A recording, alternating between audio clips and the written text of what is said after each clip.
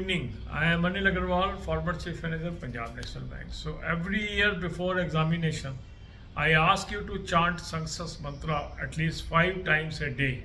This will inculcate confidence in you. I can, I will. I can, I will. I can, I will. I can, I will. I can, I will. Make it a habit on daily basis. Chant this mantra at least five times. This will help you. God bless you all यही बातें हम हिंदी में करेंगे। Exam से पहले मैं हमेशा आपको कहता हूँ कि अपना आत्मविश्वास बढ़ाना है और उसके लिए रोज़ आपको पाँच बार सक्सेस मंत्रा का उच्चारण करना चाहिए। और ये क्या है? मैं कर सकता हूँ, मैं करूँगा। मैं कर सकती हूँ, मैं करूँगी। मैं कर सकता हूँ, मैं करूँगा। मैं कर सकती हूँ, मैं करूँगी। मैं कर सकता हूँ, मैं करूँगा। इससे आपका आत्मविश्वास बढ़ेगा और पढ़ाई में मन लगेगा। और कामयाबी आपको मिलेगी।